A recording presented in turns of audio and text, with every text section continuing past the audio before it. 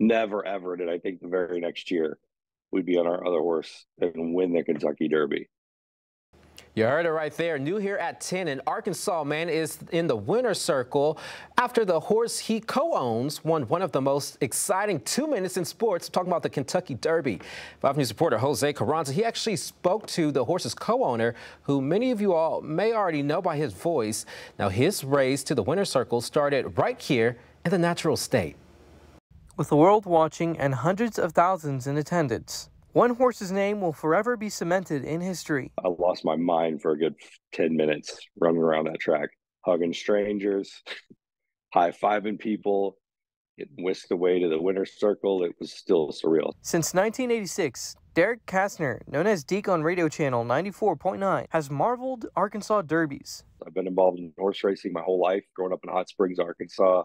My grandma would take me to the track teachers would let me out of class to go bet for them at the track. So I really had a passion for it, a knowledge of it. I've always looked at that winner circle and I was like, one day I'm going to be there. One day I'm going to be there. And then last year with We the People I was. And then you don't even think about the Kentucky Derby, Jose. You don't even think about it.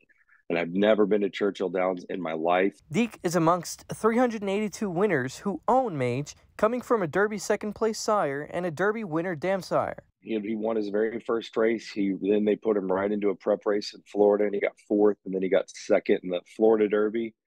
And I love the movie made in the Florida Derby, and I'm like, this horse can win the Kentucky Derby. And it wasn't a competition met without doubts. Seven horses died, and favorite to win Forte didn't make it to the big day.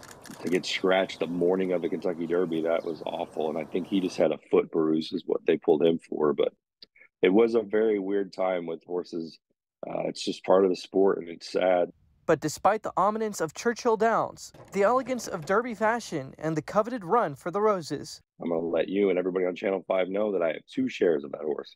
$100 got me into the winner's circle of Kentucky Derby, so it's very affordable with Commonwealth. This Arkansan, who started at Oaklawn, is glad to co-own his predicted Triple Crown winner. Came from last. He's got a gear that the other horses don't have. Covering news where you live, Jose Carranza, 5 News.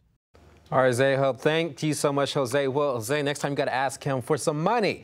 Well, the next leg of the Triple Crown is the Preakness Stakes, which is being held at Baltimore's Pimlico Racecourse. And while Deek says he's unsure if he will attend, he's just trying to enjoy this win for right now.